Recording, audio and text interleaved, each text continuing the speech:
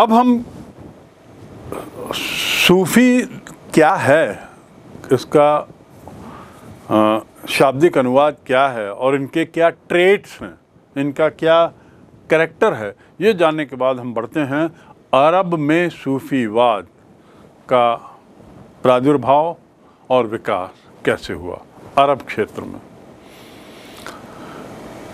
अरब क्षेत्र में जो सूफी मत है, ये एकांत जीवन और पाक जीवन, बिल्कुल साफ़, शुद्ध जीवन जीने की भावना के साथ शुरू हुआ था।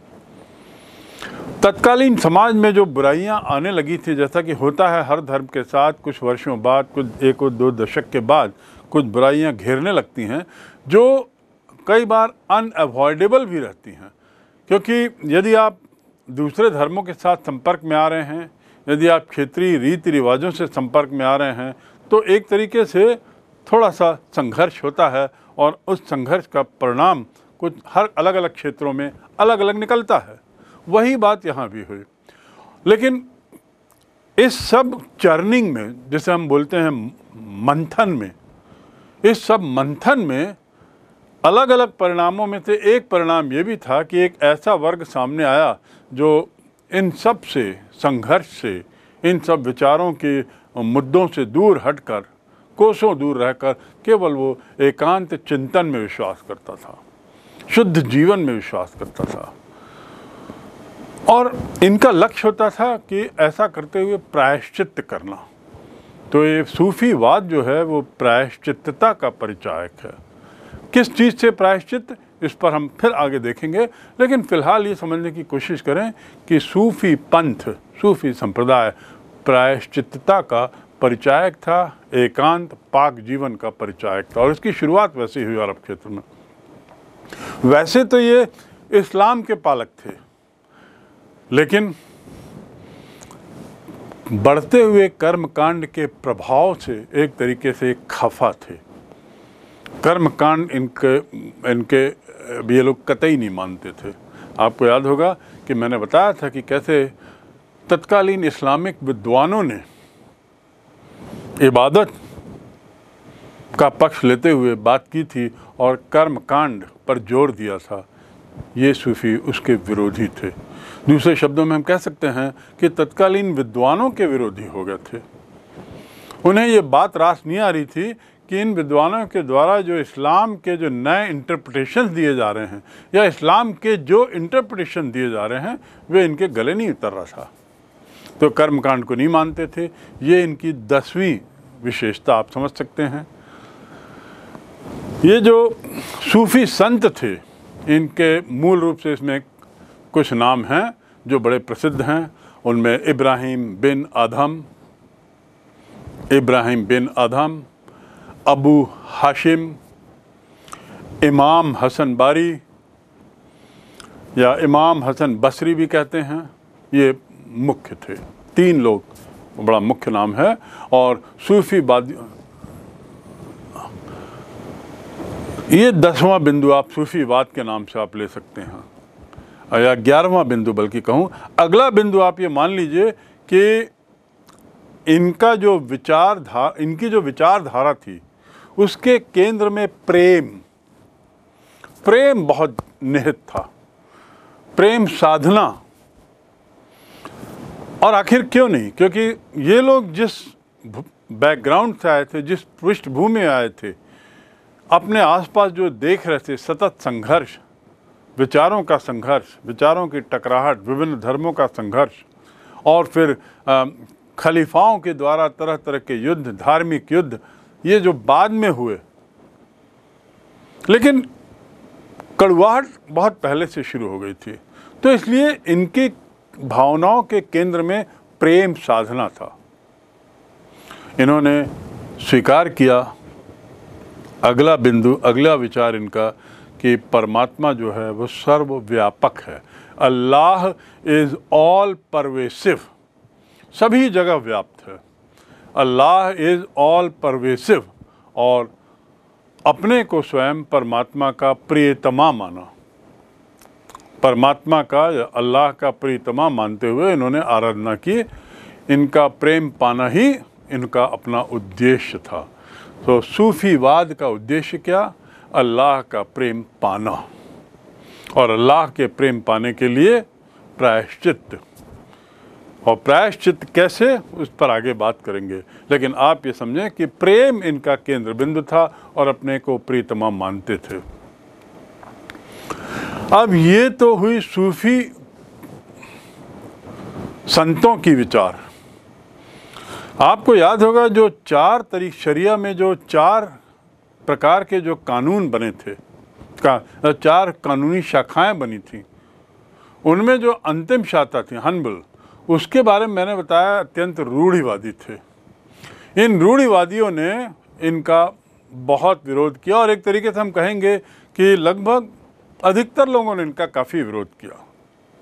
क्योंकि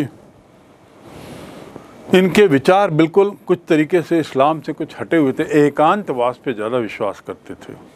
प्रेम पर बहुत विश्वास था इनका, और इसलिए समय के साथ साथ रूढ़वादियों के द्वारा इनका विरोध किया जाने लगा। यहाँ पे घटनाक्रम होता है। तो ये विरोध जो है, वह बढ़ता गया। और इनका प्रेम जो है, वह तीव्रतर होता गया।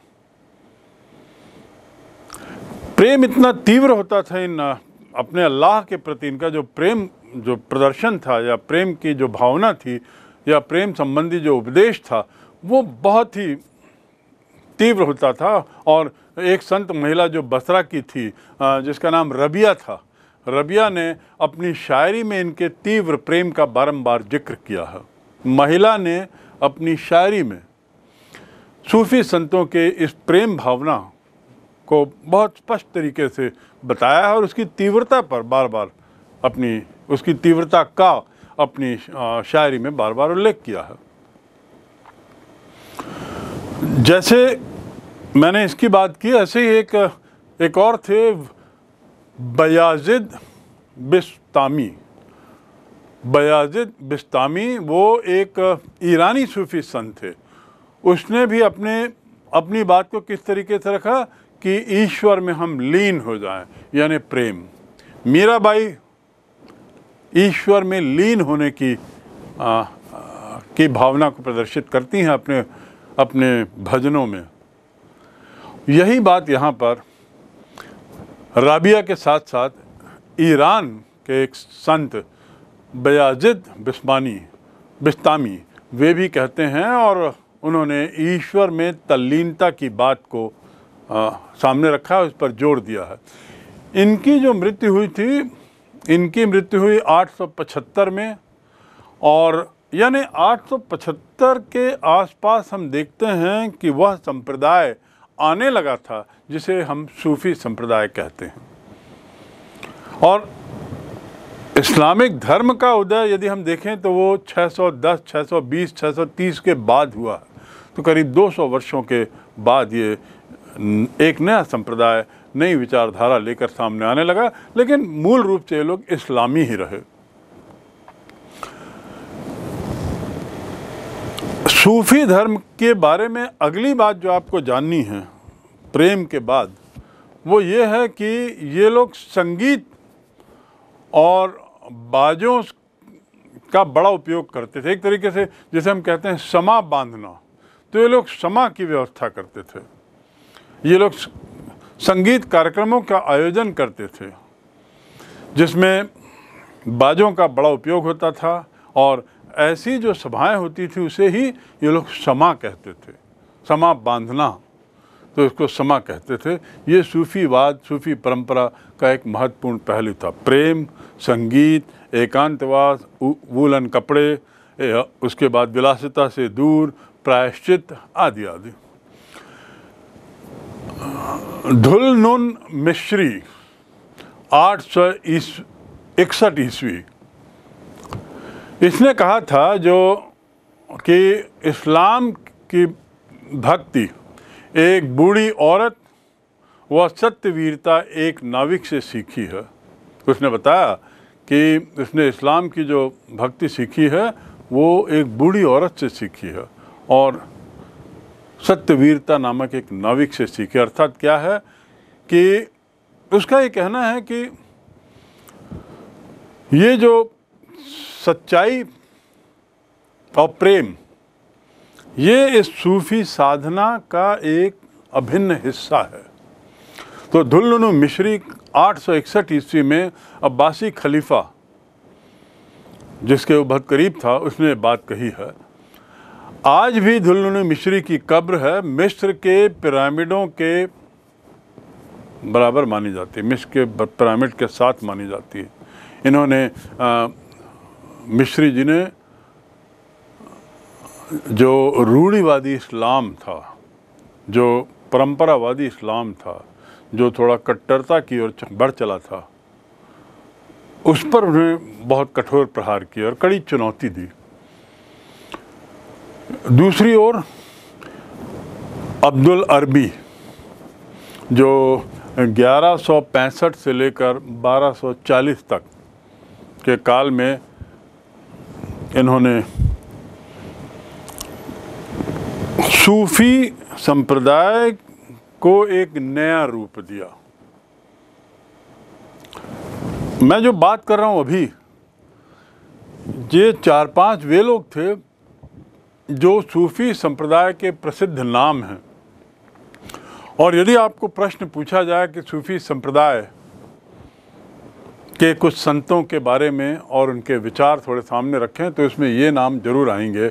और जो ये नाम बता रहा हूँ आपको धुल्लुनु मिश्री के बाद अब जो अगला नाम जो मैंने बताया कि वो अब्दुल अरबी 1165 से 1240 ये इसलिए प्रसिद्ध है कि इसने सूफीवाद को एक तरीके से रहस्य का जामा दिया। और ये अगला बिंदु हो जाता है, यदि आपसे सवाल पूछा जाए कि सूफीवाद क्या है, सूफी धारा से आप क्या समझते हैं तो ये चौदह पंद्रह बिंदु आपको लिखने पड़ेंगे, बताने पड़ेंगे, जिसमें अभी जो मैंने आखिरी में बताया, वो था रहस्यवाद की ओर। ये आगे बढ़ता है, इसका जो दर्शन है, इसकी जो फिलॉसफी है, वो रहस्यवाद की ओर से ज़्यादा प्रभावित है। इनके विचारों को रूढ़ीवादी इस्लाम इस्लाम ने तो कतई स्वीकार नहीं किया, और इसका कहना था, वैसे ही कि ईश्वर सर्वव्यापी है सभी मानव समान हैं। खुदा की आ, खुदा की जो झलक है खुदा का जो पुट है वो सभी में पाया जाता है। ऐसा इनका भी कहना था जो सामान्यतः सभी संतों का विचार होता। है लेकिन ये संत इसलिए विशेष प्रसिद्ध हैं कि उन्होंने सूफीवाद को एक तरीके से रहस्यवाद का रूप दिया। बसरा जो क्षेत्र है वह सूफियों का केंद्र था। देखिए नक्शे में बसरा कहाँ है। बसरा, आपको याद होगा, बसरा वही क्षेत्र था जहाँ पर प्रारंभिक लड़ाई के समय खाना बदोश लोगों को सैनिक शिविर में रखा जाता था। जिन दो शहरों में से रखा जाता था, उनमें से उल और बसरा में, बसरा शहर में बहुत बड़ी संख्या में खाना बदोश लोगों को सैनिक के रूप में रखा जाता था इन खलीफाओं के द्वारा, ताकि वे उनका नियंत्रण मक्का मदीना से बसरा पर बेहतर रहे। जहाँ जो बसरा जो सूफियों का केंद्र था, जहाँ मंजूर हलाल सूफीवाद के प्रमुख विद्वान थे तो ये अगले विद्वान हुए मंजूर हलाल। जैसा मैंने बताया, बसरा क्षेत्र के बारे में और वहाँ जो बसाहट थी उस बसाहट में सैनिक तो थे ही। साथ ही साथ सूफी संतों का केंद्र भी बन गया था। यहाँ मंजूर हलाल नाम के बहुत प्रसिद्ध सूफीवाद के प्रमुख विद्वान रहते थे, जिनका नाम था मंजूर हलाल इनकी सोच एक कदम और आगे थी। वे कहते थे कि अल्लाह से ईश्वर प्राप्त अल्लाह से अनुमति मैंने प्राप्त कर ली है और उस अनुमति के तहत स्वयं को वो अन हलक हल तक कहते थे। अन हलक ये स्वयं को कहते थे जिसका अर्थ है, मैं स्वयं ही ईश्वर हूँ। मैं स्वयं ही ईश्वर हूँ। ऐसी सोच, ये बड़ी क्रांतिकारी सोच थी उस परिप्रेक्ष्य में और इनके द्वारा ये कहा जाना, उसने सूफीवाद को और आगे बढ़ाया। अन्य विद्वानों की तरह, ये भी सर्वव्यापी ईश्वर की उपस्थिति पे विश्वास करते थे और उन्होंने काफ़ी कोशिश की कि वो सिद्ध कर सकें कि ईश्वर जो है, वो सर्वव्यापी है। बहुत समय बाद इब्न अरबी के विचारों को आधार मानकर बहद तुल नजूद की दार्शनिक अवधारणा रखने का श्रेय इनको जाता है। बहद तुल वजूद इस अवधारणा को, इस दार्शनिक विचारधारा को रखने का श्रेय इनको जाता है। ये ये जो ये जो विचारधारा है, मंजूर हलाल की ये विचारधारा किससे प्रभावित हुई? इब्न अरबी के विचारों से। सूफीवाद की बात करें तो ये बात तय है कि जो रूढ़ीवादी इस्लामिक विचारधारा के लोग थे, जो लोग परंपरागत विचारधारा के लोग थे, वे सूफीवाद का दिन प्रतिदिन विरोध कर रहे थे और वो विरोध बढ़ता ही जा रहा था। इस बढ़ते हुए विरोध को खत्म करने के लिए एक विद्वान, जिनका नाम है अल गज़ाली क्या नाम है? अल गज़ाली जो सूफी संत हैं। दस सौ अंठावन से ग्यारह सौ बारह का इनका काल होता है। दस सौ अंठावन से ग्यारह सौ बारह। इस काल में उन्होंने काफ़ी कोशिश की कि रूढ़िवादियों और सूफी संतों के विचारों में जो टकराहट है उसको कम किया जा सके, उनके बीच में सामंजस्य बैठाया जा सके, एक तरीके से समझौता हो। तो विरोध समाप्त करने के लिए उन्हें कई महत्वपूर्ण कदम उठाए। जलालुद्दीन रूमी और फरीदुद्दीन अत्तर, इन्होंने भी सूफीवाद के प्रचार के लिए काफ़ी प्रयास किया और मतभेद उस सब के बावजूद भी समाप्त नहीं हुए। क्योंकि सूफी संतों की रहन सहन, उनकी शैली, उनका क्रियाकलाप, उनका रहस्य, उनके अपनी पूरी जीवन शैली को, पूरी दिनचर्या को रहस्यमयी बनाए रखना, ये जो तरीका था, वो एक तरीके से इस्लामिक, मूल इस्लामिक, जिसे रूढ़ीवादी इस्लामिक कह सकते हैं, उससे मेल नहीं खाता था। तो इसलिए दोनों के बीच में सामंजस्य बैठाना बड़ा मुश्किल हो रहा था और प्रयास भी सतत हो रहे थे। यद्यपि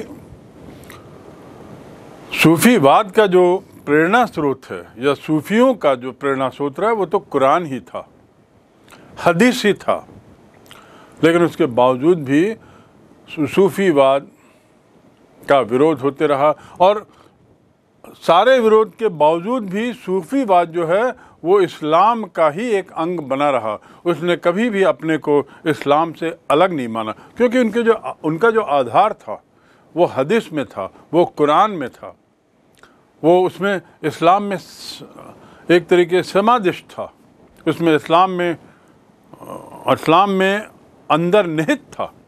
तो इसलिए ऐसी कल्पना भी नहीं की जा सकती थी कि सूफीवाद इस्लाम से अलग होके एक नए धर्म का रूप लेगा।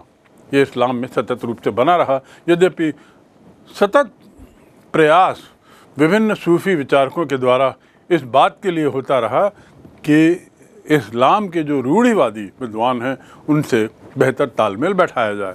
लेकिन सफलता उतनी अपेक्षित नहीं थी। ये तो हुई सारी बातें सूफीवाद पर। और सूफीवाद पर का ज़िक्र करना इसलिए आवश्यक था क्योंकि हमारा विषय है ज्ञान और संस्कृति। इस्लाम के परिप्रेक्ष्य में ज्ञान और संस्कृति का विकास। इसलिए सूफीवाद का यहाँ ज़िक्र हुआ क्योंकि उसने एक नई तरह की विचारधारा को जन्म दिया। अब ज्ञान के हम दूसरे पहलू पर आते हैं। धर्म से हटकर बौद्धिक ज्ञान तार्किक ज्ञान की ओर, जहाँ पर कुछ नए नए विचार और सामने आए। इस्लामी विद्वान जिन लोगों का संपर्क यूनान से हुआ, जो पूर्व में था, और ईरान, यूनान, इन सब पे विजय पाने के बाद उनका जो संपर्क बढ़ा तो इसके दर्शन से प्रभावित होकर उन्होंने एक इस्लामिक विद्वानों ने एक नए तरीके के विश्व की कल्पना की। उनका उनका जो विश्व था, वो एक एक एक दूसरे तरह का विश्व था। सातवीं सदी के आसपास ससानी में जो पुराने यूनानी संस्कृति थी, उसके हम बहुत सारे अवशेष, बहुत सारे खंडित चिन्ह देखे जा सकते हैं। ये किसके? ससनी डायने अम्पायर के जो पुरानी यूनानी संस्कृति से प्रभावित था। सीरिया, मेसोपोटामिया, सीरिया जो उत्तर में है, मेसोपोटामिया जो पश्चिम में आता है, या उत्तर पश्चिम में, इनके विद्यालयों में उस समय विभिन्न विषयों के अलावा गणित पढ़ाया जाता था, चिकित्सा जैसा विषय पढ़ाया जाता था, और साथ ही दर्शन, यानी फिलॉसफी, इसका भी अध्ययन किया, करवाया जाता था। निश्चित रूप से ऐसे विषयों का अध्ययन जब करवाया जा रहा है तो जो भी संपर्क में आया, उस पर इनका प्रभाव पड़ा होगा। अर्थात इस्लाम का इन लोगों से संपर्क होने पर, इस्लामिक लोगों पर इसका प्रभाव निश्चित रूप से पड़ा होगा। परिणाम क्या हुआ? कि इस्लामिक सभ्यता में, इस्लामिक सभ्यता और रिच हुई। और गहरी हुई, उसकी संस्कृति भी गहरी हुई और परिणाम कि कई पुस्तकों का जिस, जिससे इनका ताल्लुकात हुआ, जिनसे इनका सामना हुआ, उन पुस्तकों का बेहतर समझ के लिए उन्होंने अनुवाद कराया अपनी भाषा में। आठवीं सदी में, आठवीं, दसवीं सदी में तो मैंने आपको बताया था कि खलीफाओं ने तो अनुवाद विभाग भी बना दिया था। और इस अनुवाद विभाग के जो लोग थे, अधिकारी लोग, इन्हें एक बहुत महत्वपूर्ण माना जाता था। प्रशासन का एक महत्वपूर्ण अंग माना जाता था। बहुत ज़िम्मेदारी का काम होता था। और इनको, ये अनुवाद विभाग को बैतुल हिकमत कहा जाता था। बैतुल हिकमत अर्थात ज्ञान का घर। इतना महत्वपूर्ण स्थान इस्लामिक विद्वानों ने, इस्लामिक प्रचारकों ने, इस्लामिक अनुयायियों ने ज्ञान को दिया और ज्ञान पिपासा की पूर्ति के लिए विभिन्न धर्मों में, विभिन्न भाषाओं में जो किताबें लिखी गई थी, उसका अनुवाद कराने हेतु उन्होंने अनुवाद विभाग बनाया, जिसका बैत, नाम बैतुल हिकमत अर्थात ज्ञान का घर। ऐसा नाम दिया। इस जगह इस ज्ञान के घर में, बैतुल हिकमत में उन्होंने एक तरीके से बाइजेंटाइन, यूनान मिश्र भारत, ईरान आदि देशों के अलग अलग सभ्यता का, की जो विद्या थी अलग अलग जो ज्ञान था, उसका अनुवाद किया। भारत भी उसमें शामिल था। ये वही काल है लगभग जब मोहम्मद गजनी गजना पे शासन कर रहा था।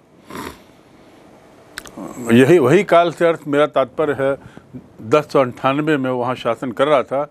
इस काल के आते आते तो काफ़ी विस्तृत अनुवाद हो चुके थे, क्योंकि अनुवाद विभाग की स्थापना लगभग आठवीं से दसवीं शताब्दी के बीच में हुई थी।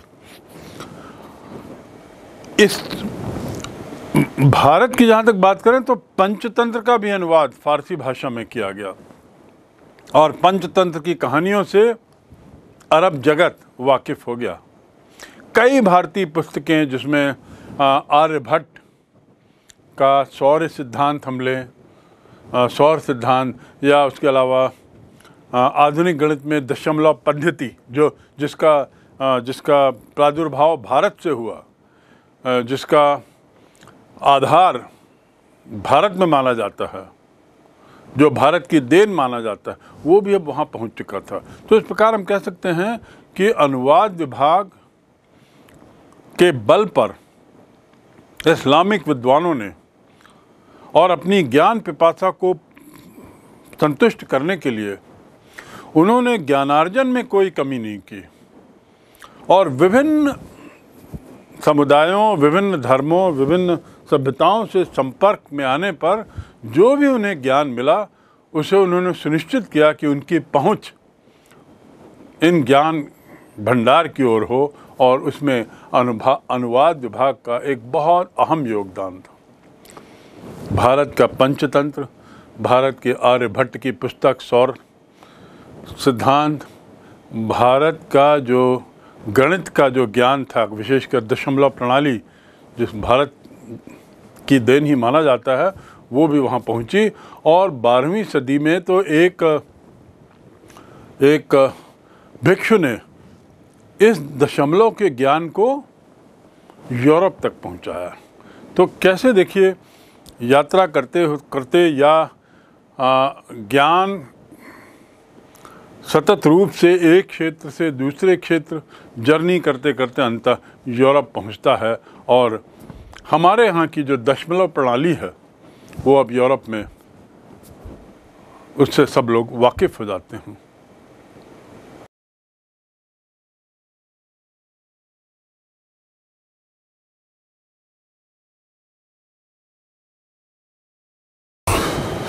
सूफीवाद और उसके उदय की हमने व्याख्या की, समझने की कोशिश करी।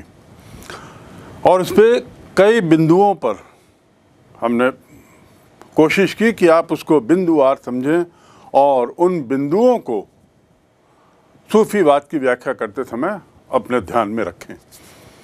थोड़ा सा हम उसको दूसरे तरीके से भी ज़रा समझने की कोशिश करें जहाँ तक कारण और उसके विस्तार की बात है।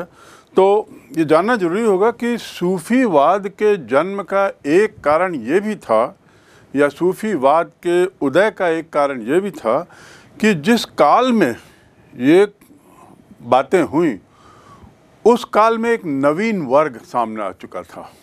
एक ऐसा नया वर्ग जो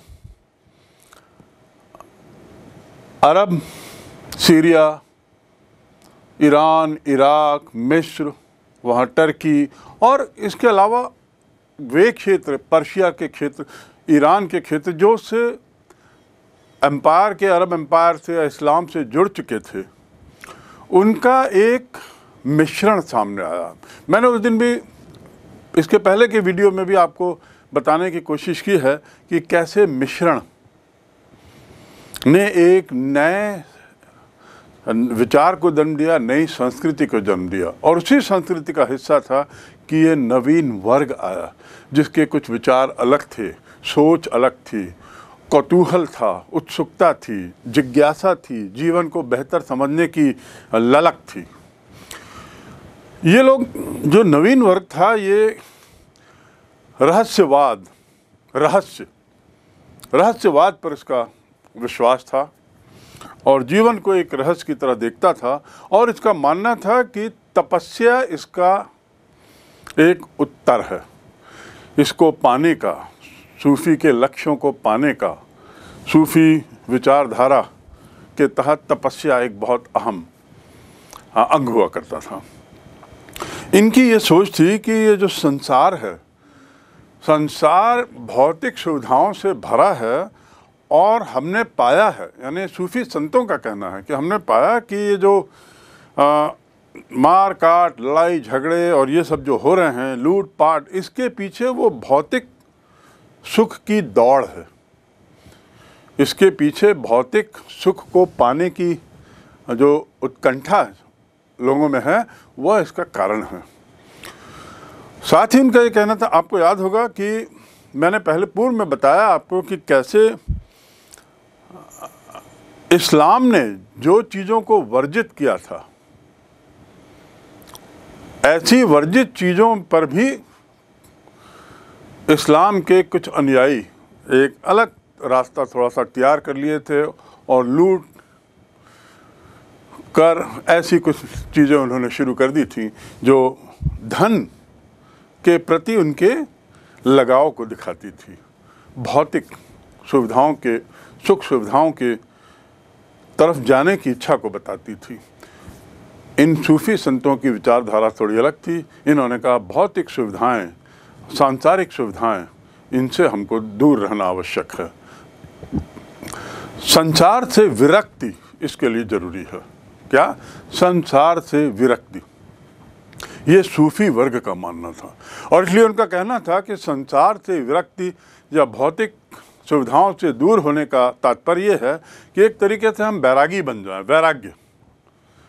और यदि हम वैरागी बनते हैं तो उसकी पराकाष्ठा पर जाते हैं, वैराग्य की पराकाष्ठा पर तो हमें एक तरीके से सर्वेश्वरवाद की अनुभूति होती है। सर्वेश्वरवाद, इस शब्द का उपयोग पहले किया जा चुका है। सर्वेश्वरवाद की अनुभूति का अर्थ ये है कि मानव की आत्मा और आत्मा के निर्माता, इन दोनों में बहुत निकटता आती है। कब आएगी जब हम वैराग्य लें? और वैराग्य के जब चरम पर पहुँचें तो पूरी संभावना है कि मानव की आत्मा और आत्मा के निर्माता अर्थात अल्लाह, खुदा, इनके बीच की निकटता बहुत अच्छी हो जाएगी बहुत पास होंगे। इन दोनों के बीच का मिलन यानी मानव की आत्मा और आत्मा के निर्माता यानी अल्लाह का मिलन तभी संभव है जब हम वैराग्य की ओर जाएँ, जब हमारी भौतिक चीज़ों से उत्पन्न हुई उत्कंठा शून्य होती चली जाए हम सांसारिक सुखों से दूर होते चले जाएँ तो मिलन संभव संभव होगा। और इससे हमें जहाँ एक और हम भौतिक सुख से दूर होते जाएँगे, दूसरी ओर वहीं हम खुदा के निकट जाते जाएँगे। खुदा के प्रति हमारा प्रेम तीव्र तीव्रतर तीव्रतम होता जाएगा। और यही खुदा के प्रति प्रेम को ही उन्होंने अपनी भाषा में इश्क कहा। इश्क, खुदा के प्रति प्रेम को अपनी भाषा में इश्क कहा। ये खुदा के प्रति जो तीव्र प्रेम है, उसको किस रूप में व्यक्त करेंगे, इस पर मैंने आपको बताया था कि इनकी अभिव्यक्ति का तरीका संगीत होता था। संगीत के ज़रिए से ये अपनी अभिव्यक्ति करते थे, समा बांधते थे, जिसको हम कहते हैं। ये तीव्र प्रेम जो है, संगीत के माध्यम से जो प्रकट होता था, वह क्या कहलाता था? समा। समा यानी एक तरीके से सामूहिक संगीत, जिसमें एक साथ सब लोग बैठ बैठकर अल्लाह को याद करते हैं और संगीत के ज़रिए अल्लाह के अपने प्रेम को प्रकट करते हैं। समा की बात यदि करते हैं तो, तो आपको ये भी जानना होगा कि सूफीवाद में मैंने आपको बताया था कि सूफीवाद के दरवाजे उन्होंने सबके लिए खोल रखे थे सभी वर्गों के लिए। सूफीवाद का द्वार खुला था। ऐसा नहीं था कि वो या उच्च वर्ग के लिए हो, या निम्न वर्ग के लिए हो, या मध्यम वर्ग के लिए, धनाढ़ के लिए, ऐसा कुछ नहीं। सबके लिए सूफीवाद के द्वार। और यही इसकी पॉपुलैरिटी का कारण, इसकी प्रसिद्धि का कारण बना, इसके विस्तार का कारण बना। सूफीवाद की जब बात करें तो एक, आपको ये जानना होगा कि उसमें कुछ लोगों ने इसमें बहुत महत्वपूर्ण भूमिका निभाई है और उन महत्वपूर्ण भूमिका निभाने वालों में जो तीसरा नाम आता है, वह है चुलनुन मिस्त्री। आपको याद होगा, मैंने बताया था, इसने, इसको फिर से मैं थोड़ा दोहरा दूँ, चुलनुन मिस्त्री इसलिए प्रसिद्ध है कि उसने खलीफा को चैलेंज किया था, खलीफा का विरोध किया था, और उनका कहना था कि सच्चा इस्लाम और सच्ची वीरता, यही हमें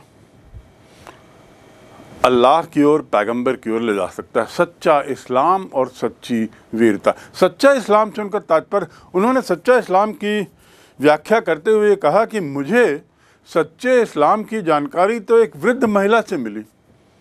किससे मिली? एक वृद्ध महिला से। यानी उसके लिए उन्होंने कहा कि मुझे किसी संस्था के पास जाना, किसी संस्थागत तरीके से अर्चना, प्रार्थना करना, इसकी कोई ज़रूरत नहीं। कोई भी इसको समझा सकता है, कोई भी इसे समझ सकता है। तो उन्होंने एक वृद्ध महिला का उदाहरण दिया और उसके पीछे उसका मकसद यही था कि किसी से भी समझा जाए और साथ ही सच्ची वीरता जलवाहक से मिलती है, उन्हें मिली थी। ऐसा चुलन मिस्त्री का कहना था। तो इस प्रकार इसने इस्लाम को एक तरीके से व्यक्तिवादी सूफीज़म को एक तरीके से व्यक्तिवादी रूप देने का उसने कहा। मतलब उसका कहना था कि सूफीवाद कोई संस्था नहीं है, ये कोई संस्थावाद नहीं है, यह बल्कि एक व्यक्तिवादी विचारधारा। व्यक्ति, हर व्यक्ति को अपने लिए प्रयास करें तो वो अल्लाह तक पहुँच सकता है। इसके लिए किसी ऐसे मार्ग की ज़रूरत, किसी गुरु की ज़रूरत, किसी आराध्य उसकी ज़रूरत, किसी, कुछ भी तरह की ज़रूरत नहीं, और यही उनकी नज़र में इस्लाम है। सच्चा इस्लाम, धन सच्ची वीरता ही इस्लाम। इस प्रकार हम देखते हैं कि इसने ये जो चुनमुन मिस्त्री की जो बातें थीं, जिसमें उन्होंने तत्कालीन विचारों को विरोध किया, एक तरीके से उन्होंने रूढ़िवादिता का विरोध किया। और ये रूढ़िवादिता का विरोध एक तरीके से तत्कालीन खलीफाओं, तत्कालीन रूढ़िवादी समाज के लिए एक बहुत बड़ी चुनौती हो गई थी। बहुत बड़ी चुनौती हो गई थी। तो निष्कर्ष ये है कि कुछ लोगों ने इसके विस्तार में बहुत अहम योगदान हुआ इसके पहले मैंने आपको रजिया का नाम रबिया का नाम भी बताया था। वह भी एक ऐसी महिला थी, महिला सूफी संत, जिसने इसके विस्तार में बहुत योगदान दिया।